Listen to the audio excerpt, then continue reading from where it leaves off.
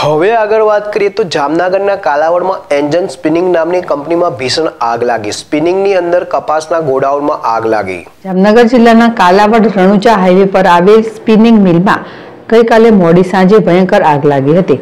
Kalavad રણુચા highway પર આવેલ Angel spinning નામની કંપની ભીષણ આગ લાગી. સ્પિનિંગની અંદર કપાસના ગોડાઉનમાં આગ લાગી. બનાવની જાણ થતાં કાલાવડ ફાયર બ્રિગેડની બે ટીમે ઘટના સ્થળે પહોંચી. મોટી સંખ્યામાં કપાસની ઘાસરી બરીને રાખ થઈ.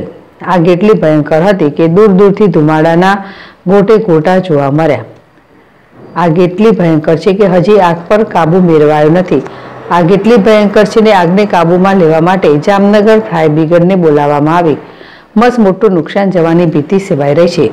આગ લાગવાનું કારણ હજી અકબંધ છે. ગત મોડી રાત્રે સ્પિનિંગ મિલમાં હજી પણ આગ પર કાબુ મેળવવામાં આવ્યો નથી.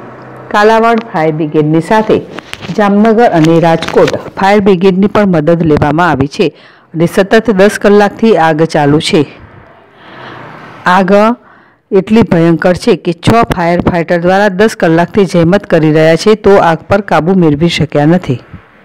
હર્ષલ ખંદેડિયા, જેડેશ ટીવી, જામનગર.